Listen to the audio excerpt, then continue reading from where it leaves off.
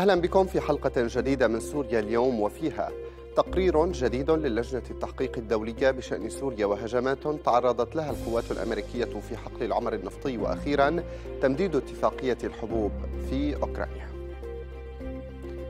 تقرير جديد للجنة التحقيق الدولية ولا جديد فيه إلا أنه تناول المشهد في حيادية وذكر بحجم الانتهاكات المتواصلة في سوريا ووضع الإصبع مجددا على جرائم عدة ارتكبت معظمها على يد نظام الأسد ثم القوى الفاعلة من جميع الأطراف. وسط تواطؤ من المجتمع الدولي والأمم المتحدة على وجه التحديد. وهو ما جعل السوريين بحسب التقرير يشعرون بالخذلان. وربما أكثر من الخذلان أيضا عندما يسعى العالم بكامله للتطبيع مع القاتل بدلا من محاسبته على جرائم لا يبدو أن تقرير اللجنة تسعى إلا لذكر اليسير منها. في محورنا الثاني مشاهدينا ما تزال سوريا ساحة لتصفية الحسابات والمناكفات بين الدول.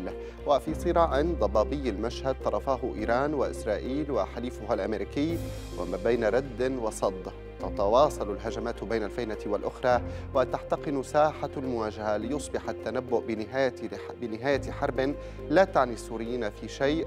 معسرة وسط حراك إيراني خفي متواصل وادعاء أمريكي إسرائيلي بعدم السماح بتحول سوريا إلى مرتع للميليشيات. يدفع السوريون الثمن الأكبر ويصبح الحديث عن حل نهائي عرضة لغارة من تل أبيب ومحاولة رد من طهران. في محورنا الأخير مشاهدينا تعلن روسيا موافقتها على تمديد اتفاق نقل الحبوب من الموانئ الإيرانية وذلك خيار يبدو أنه أشار إلى إفلاس موسكو من فكرة خنق العالم وتجويعه لا سيما بعد أن سقطت رواية موت أوروبا بردا بعد قطع الغاز الروسي وتجديد الاتفاق. قد يعني تنازلا روسيا آخر لواقع لم يعد بالمقدور تجاهله ولا سيما أن نهاية الحرب لا تبدو قريبة.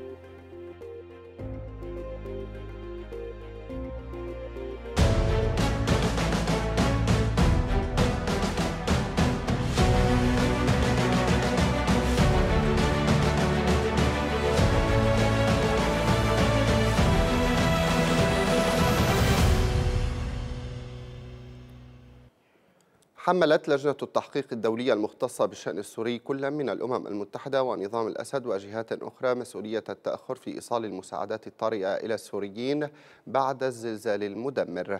جاء ذلك في بيان لرئيس اللجنة باولو بينيرو حيث أضاف بأن الجهات المذكورة أخفقت في التوصل إلى اتفاق لوقف الأعمال القتالية والسماح بعبور المساعدات المنقذة للحياة من خلال أي طريق ممكن. ما جعل السوريين يشعرون بالخذلان والإهمال ممن يفترض منهم حمايتهم في أحلك الأوقات بحسب وصفه. وأضاف بينيرو بأن كل من الحكومة السورية المؤقتة والجيش الوطني كذلك هيئة تحرير الشام أعاقوا وصول المساعدات عبر خطوط التماس إلى المتضررين في شمال غربي البلاد. كما أشار بيان اللجنة إلى أن قوات سوريا الديمقراطية تواصل احتجاز 56 ألف شخص بشكل غير قانوني معظمهم من النساء والأطفال في عدة مخيمات. مضيفا بأن تعامل قسد مع هؤلاء المحتجزين يرقى إلى جريمة حرب.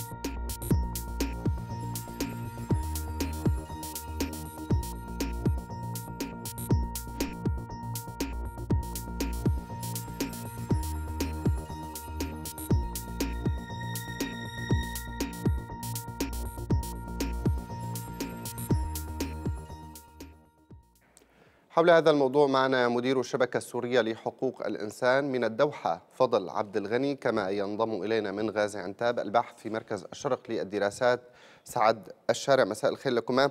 آه، أستاذ فضل عبد الغني ربما أبدأ مع حضرتك. ما أبرز ما لفت إليه التقرير الأخير للجنة التحقيق الدولية الخاصة بشأن سوريا؟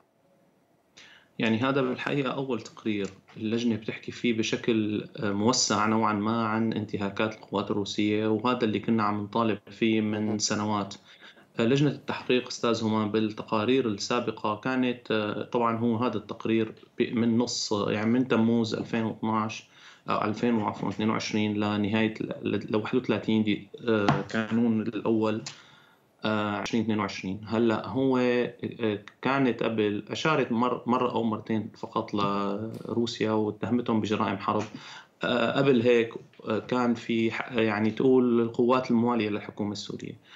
نحن كان عندنا اعتراض دائم إنه مين يعني بتسميه المرتكب بالانتهاك هذا كان يعني بالحقيقة أنا بعتبره مؤشر جيد ويعني إنه يعني المناصرة أتت كلها وكان في فقرة يعني موسعة عن انتهاك روسيا واتهمتها بارتكاب آه، بثلاث أو أربع حوادث بارتكاب جرائم حرب. وهذا كان الحقيقة إنجاز جيد وملفت للانتباه وهو حقيقة مستحق. يعني هي الانتهاكات اللي كانت روسيا عم تعملها بالمرات الماضية آه، يعني هي موجودة. مش مش نحن عم نتبلى على روسيا. الأمر الآخر أيضا بالتقرير هو اللي اتهام النظام بارتكاب جرائم ضد الإنسانية بعدة أنماط من الانتهاكات آه، وهو الوحيد النظام يعني هو صحيح التقرير بيحكي عن كل أطراف النزاع لكن ما حدا بيوصل لجرائم ضد إنسانية آه، إلا النظام اللي هي آه، ممنهجه وأيضا واسعة النطاق وحكى عن بقية الأطراف بجرائم حرب.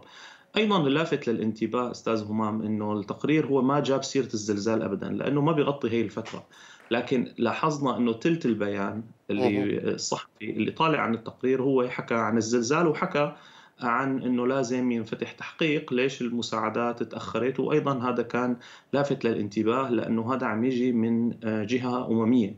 عم يطالب الأمم يعني جهات أخرى عم يطالب جهات أخرى بالأمم المتحدة وخارج الأمم المتحدة إنه هي تفتح تحقيقات لأنه آه، أيضا هذا الأمر يعني نحن طالبنا فيه من التقرير الأول للاستجابة للزلزال اللي طلع ب 15 شباط انه لازم يكون في تحقيقين، تحقيق داخلي تقوم فيه الأمم المتحدة وتحقيق تقوم فيه مؤسسات خارج الأمم المتحدة آه، مؤسسات دولية أو منظمات سورية محلية. سأعود اليك عند هذه النقطة للحديث كيف أكد التقرير آه، المؤكد حول أن كيف كل الأطراف آه، على الأرض الأطراف المحلية على الأرض عرقلت أو منعت وصول المساعدات بدأ من الحكومة السورية المؤقتة وليس نهاية بنظام الأسد. ولكن قبل ذلك آه، هناك أبعاد سياسية للتقرير سعد الشارع مساء الخير مجددا. سياسيا ماذا يخبرنا التقرير حينما يتحدث عن حالة حقوق الإنسان في سوريا بشكل عام وتحديدا في مناطق النظام عندما يتحدث عن استمرار الإعدامات استمرار الاختفاء القسري والتعذيب وحالة الخطف والابتزاز التي تمارسها قوات النظام. يعني يوضح التقرير بصورة أو أخرى أن ملف حقوق الإنسان والتعديات حقيقة على الملف الإنساني في سوريا هي جزء أساسي من حالة المشهد الأمني في في عموم سوريا خاصة في المناطق التي يسيطر عليها النظام السوري. وتحديدا هنا مناطق التي تسيطر عليها الميليشيات الإيرانية التي تقريبا لا وجود أو لا ظهور كبير للنظام السوري في هذه المناطق. وأيضا المناطق التي تمتلك فيها روسيا نفوذا جدا كبير أشير هنا بشكل رغم أن التقرير لم يذكر ذلك لكن ربما هو المقصود هي مناطق البادية السورية. السورية التي باتت الانتهاكات بشكل جدا كبير آه، خاصة من المجموعات العسكرية المدعومة التي استخدمتها روسيا من الجنوب السوري ووضعتها في منطقة البادية. يوضح تقريبا هذا هذا التقرير أن الانتهاكات آه، جدا كبيرة في سوريا. هي جزء تقريبا من المشهد الأمني الدموي الذي تعيشه تقريبا معظم الجغرافيا السورية. من نقطة أخرى وأعتقد من هنا أهمية هذا التقرير أنه أشار أو طالب بصورة أو أخرى لإجراء عملية تحقيق التحقيق خاصة في موضوع إيصال المساعدات إلى إلى مناطق سوريا إلى مناطق الشمال الغربي من سوريا عقب الزلزال الذي عصف وضرب في هذه المنطقة. يعني تقاعس الأمم المتحدة والمجتمع الدولي عن إيصال المساعدات بصورة صحيحة وبصورة مستعجلة. هذا هو كان المطلب الأساسي رغم أن المجتمع الدولي عندما أراد في في مواضع جغرافية أخرى إيصال المساعدات أوصلها حتى عن طريق إلقاء شحن من من الطائرات على بعض هذه المناطق. لذلك يبدو أن هناك حالة تمييز من قبل الأمم المتحدة أو من جميع تقريبا المجتمع الدولي عندما تكون آسف لقول ذلك الكلام عندما تكون نوعية الشعب هي محببة لهذا المجتمع الدولي فتتضافر هنا نعم. الجهود لإيصال هذه المساعدات. لكن يعني وللأسف حال الشعب السوري خاصة في الشمال الغربي من سوريا رغم المناشدات الكبيرة ورغم حقيقة يعني قيام بعض الدول وبعض الجهات بإيصال هذه المساعدات. لكن كان هناك تقاعس واضح من قبل الأمم المتحدة تأخر حتى وصول المساعدات أو تأخر وصول بعض المساعدات التي كانت مطلوبة. أشار أشار الدفاع المدني الخوذ البيضاء إلى إلى عدم وجود بعض المعدات التي كانوا يحتاجونها لرفع هذه الأنقاض معدات هندسية معينة لا غير موجودة في الشمال السوري. وربما حتى هذا الوقت والأسف أنه لم تصل هذه المعدات المطلوبة أي أنه لا قدر الله إذا ما تعرضت هذه المنطقة لأي مأساة جديدة سوف يكون الوضع هنا مأساوي. حتى هذا الوقت حتى هذه الساعة رغم يعني ما قدم لمنطقة الشمال السوري لكن حقيقة الجهود لا لا توازي حجم المأساة. حتى هذا الوقت ما زال هناك مخيمات الإيواء ما زال حتى هذا الوقت تقريبا هناك حالة تشرد من قبل المدنيين كون المنطقة التي التي ضربها الزلزال في الشمال السوري أساسا هذه المنطقة. وصل إليها عدد كبير من النازحين من معظم الجغرافيا السورية وبات حتى عدد النازحين يفوق بشكل جدا كبير. أهالي هذه المنطقة لذلك هو نزوح على نزوح مأساة يعني تتلوها مأساة أخرى. فيجب أن تكون الأمم نعم. المتحدة بالدرجة الأولى هي حيادية في إيصال المساعدات والتعامل مع جميع الملفات بإنسانية دون أن يكون هناك يعني أي تمييز دعنا نفصل أكثر عند هذه النقطة. نعم لكي نفصلها أكثر أستاذ فضل عبد الغني. ما حجم المسؤولية التي ألقاها التقرير على عاتق الأمم المتحدة وعلى عاتق كل طرف من الأطراف المحلية على الأرض؟